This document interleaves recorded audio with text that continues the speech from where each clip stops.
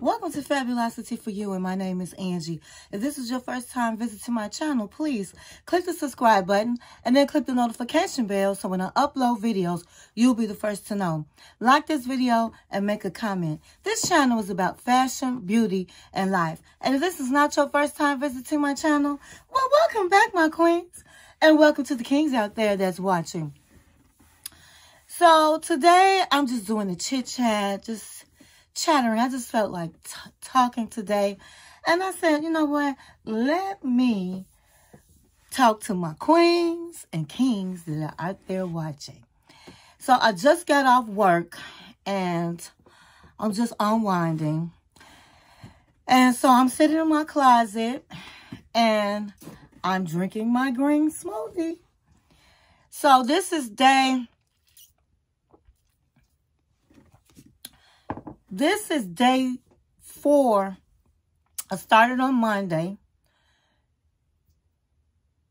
So this is day four of my challenge that I'm doing.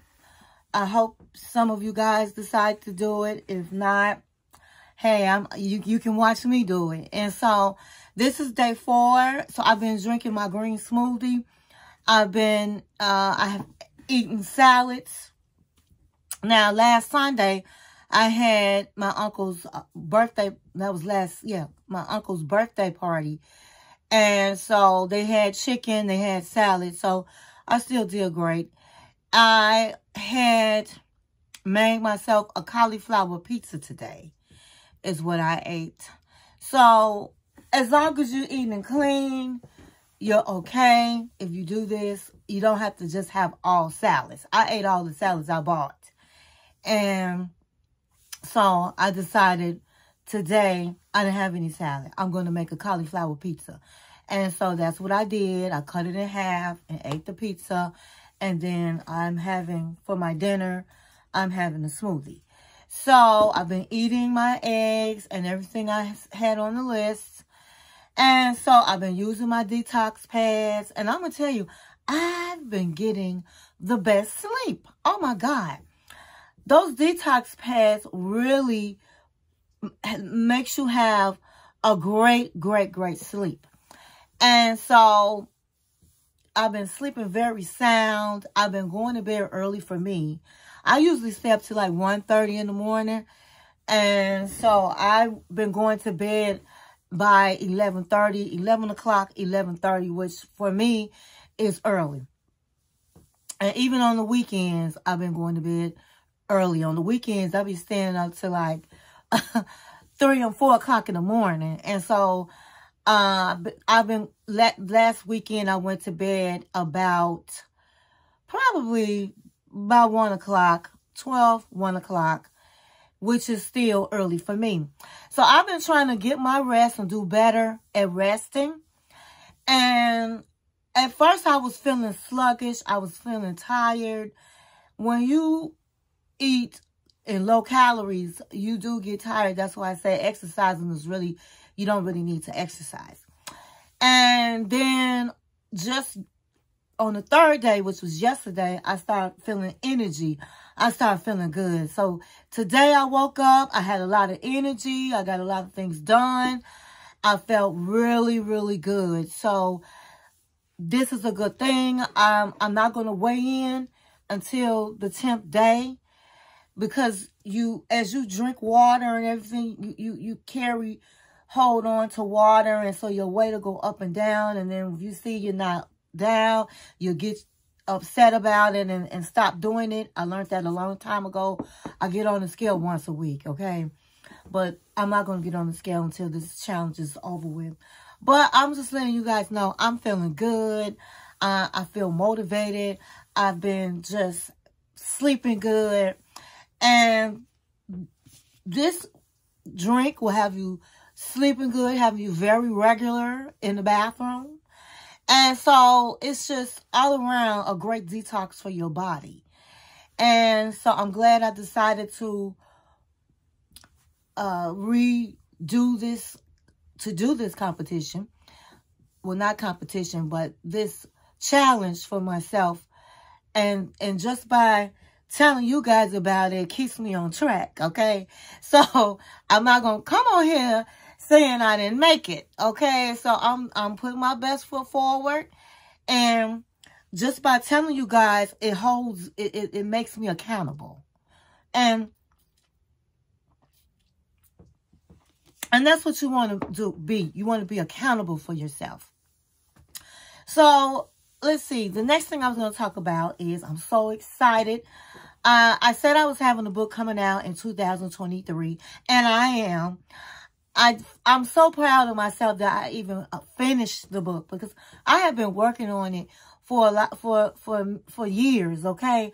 But for me, life happens, you know, you have some people in your life that does not keep you motive, you know, just drains your energy.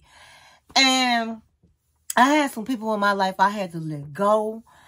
Friends I had to let go that were not positive and were not 100% down with Angie. And I had people that always, you know, you have a friend that always have a problem. Always. You can't never answer the phone and, and, she, and that person be happy. You know, it's always something going. And that just drains my energy. I'm, I'm somebody that's like to be a helper, a solver with people. And, but that just took my, my, took me to, to my limit. So I had to let people go. And once I did all of that, I started getting in the mind frame of finishing what I need to do. And that was that book. Because to write a book, if anybody out there has written a book, you you can't just sit down and, and just write. You have to be in the mind frame to do it. And just even with this challenge, when you're ready to get your body together, only you can make yourself get your body together. You have to be in the right mind frame. You have to be tired and sick and tired of your appearance or not being able to wear your outfits you have in your closet. And then you just have to say, you know what? I don't care. I'm just, I'm just going to get it done. And when you get to that point, then you're going to do it. And so that's how I was with writing my book. I had to say, listen, let me quit doing, because I used to work a lot of hours at my job. I mean, I was putting in about 65 hours a week. And I'm like, oh my God, I am so tired. And I just didn't have time to do anything. And then when I did have time to do something, I wanted to have a good time. The last thing I wanted to do was sit down and finish a book. But forget all the excuses. Angie just did it and uh, I completed it. And so now I'm looking for a publisher because the publisher I used for my last book, things have changed out here in the publishing world. And so I'm just trying to find find a publisher that best fits me and what I and my needs for the book. But I'm excited because it's it's it's it's rolling. The ball is rolling. So stay tuned. I'll keep you updated. Let's see. The next thing I was going to talk about was I'm going to do another challenge. And um, another challenge, but I'm going to do another giveaway in March. I said I was going to do a $50 giveaway when I reach 500. So I'm going to put out a video and tell you how you can actually enter the con enter the giveaway and we can start doing that in March and whenever we make that 500 mark and you went through the rules uh, then I will pick a winner and I'll have all the details for you when I get ready to do that in March. In the meantime, I appreciate everybody that has subscribed. And if you're watching my channel and you have not subscribed yet, hit the subscribe button. Yo, girl trying to get to 500. The ultimate goal is a 1,000. But I want to at least get halfway. Uh, I am putting out a lot of content. I'm consistent with my content. And all I ask you guys, hey, when you do watch, tune in and hit the give me a thumbs up, okay? And and if you and, and write a comment. But anyway, so I'm excited about that that's coming up. And what else I was going to talk about? Oh, I was looking at TikTok. I said I'm randomly talking, okay? And I seen two videos that had my heart like, oh my God. I'm going to talk about one of them today. And it was this girl on there and she was just crying because I really, I don't have a lot of time. I'll, I'll be doing, you know, with me working my a job and life, family, and then th these little things I like to, you know, my hobbies on the side. Angie be busy, and I, you know, I'm a caretaker too to my to my parents. So I just have so much going on, but I, I, you know, I love what I'm doing right now. I like just talking and talking about fashion and all the things I like to just share these things. And so I really don't look at a lot of videos on TikTok, but I, this girl was crying. I mean, she was, ah! I mean, she was, ah! And I'm not making fun of her. I'm just saying she was like crying hard, screaming. I'm like, oh my God, what is wrong with this young lady? She looked like she was probably in her 20s. And I just said, I just said, let me see what this girl talking about. This is so good. And I'm going to try to make it quick. She said that she was dating this guy for five months. Honey, this man was too good to be true. She got sick. Her mama got sick. He came over, cooked dinner, cooked breakfast, took care of them, went to the store, did it all, okay? She said that she met his children and she said that they just got along so well. It was just like, oh my God, she knew she found the one. They even started talking about marriage. He went with her, took her to get, look at some engagement rings. And they stayed in South Carolina. And then all of a sudden, he said he bought a house in Atlanta. And he was going to fix it up and rent it out. So she hadn't heard from him for like 10, 11 days. She called him. He wouldn't answer. So she decided, well, let me go down to this house and surprise him. Now, this was during the Super Bowl weekend. So she said she jumped in her car and she went right on down to Atlanta. She called him and uh, he did answer. And she he was like, well, you sound like you out driving out and about. Where you going? And she said, I'm finna go visit, come visit my boyfriend. So bottom line is he realized that she was coming to his house. So she said, he said, well, where are you at now? And he, she said, I'm about to stop and pick up my cousin, and we, we're going to be an hour away. And he said, well, that's okay. I'll come to you, so you don't need to be driving an hour away. And she was like, well, you know, I got some people in my family that's having a Super Bowl party, so why don't you come? Yeah, that's great. Come on down. So, 7 o'clock at night came. This man was a no-call call and a no-show. About 8 o'clock, he called and said, oh, you know, I was fixing the water and it's just pipes busted. I'm, I'm, I'm, I got to hire somebody. And she was like, I thought you already hired somebody.